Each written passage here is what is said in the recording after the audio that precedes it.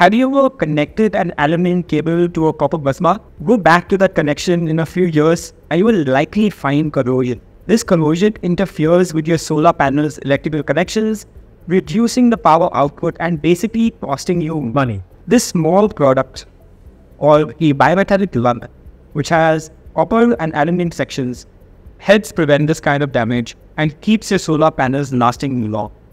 Let's explore how this small product works. Hey everyone, my name is Sahil and in today's video, we will discuss bimetallic lugs. In this video, you will understand what is a bimetallic lug, its applications in solar installations, and how it fights corrosion. But why should you listen to me? At Axis, we've been manufacturing a wide range of lugs and connectors, including bimetallic lugs, for the past 30 years. You will find our lugs installed in solar plants, utility scale applications, substations, transformers, control panels, switchgears, and many more applications across the world. Let's start by understanding the basics. A cable lug is a component used to connect an electrical wire or cable to an electrical component, equipment, or as a termination point. Cable lugs are designed to create a secure, mechanically strong, and electrically conductive connection between the conductor and the component it is being connected to. Lugs are used in situations where a strong and long-lasting electrical connection is necessary, but directly connecting the conductor to the equipment is just not practical. This could be due to limited space, different conductor sizes or types, or many other reasons. Lugs available in the market are primarily copper, like this one, but you'll also find aluminium and bimetal. Before understanding lugs in detail, make sure you are informed about how to even install lugs properly, the different applications of lugs, and general updates. Subscribe to our weekly newsletter.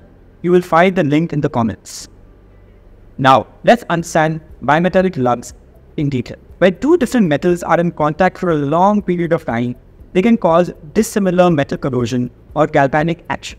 This happens, for example, when a copper lug connects to an aluminum cable. Here, both are different metals with distinct electrochemical properties. Therefore, an electrochemical driving force exists between them.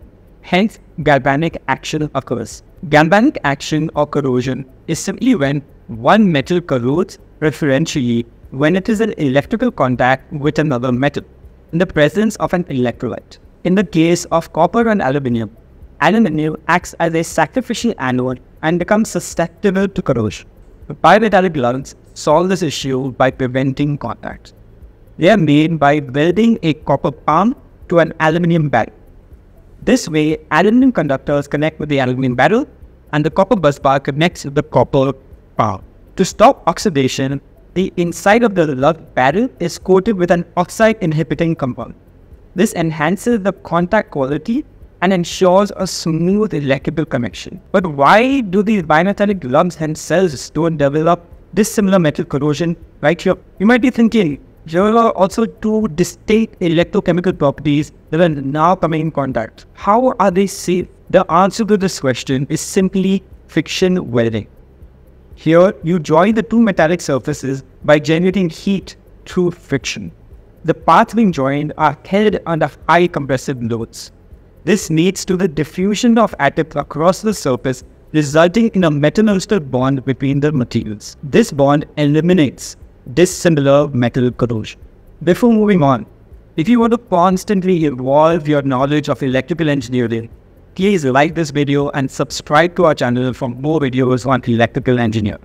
Finally, the need and application of bimetallic lugs in solar plants. Solar panels are installed in open environments where rain, humidity, big temperature changes, and salty air can cause problems. The moisture content starts in electrochemical reactions that can lead to corrosion. This is where bimetallic lugs come into the picture. Power systems usually use aluminum cables because they're economical and light. But when we connect an aluminum cable to a copper bus bar, this causes different metals to come into contact. This will lead to galvanic corrosion. Bimetallic lugs are the solution. Similarly, bimetallic strips play an important role in solar tracking. Throughout the day, the sun changes direction and the solar panels need to adjust their angle accordingly. Bimetallic strips sense temperature changes and accordingly change the solar panel's direction. These strips work on the principle of different thermal expansion coefficients of two dissimilar metals bonded together.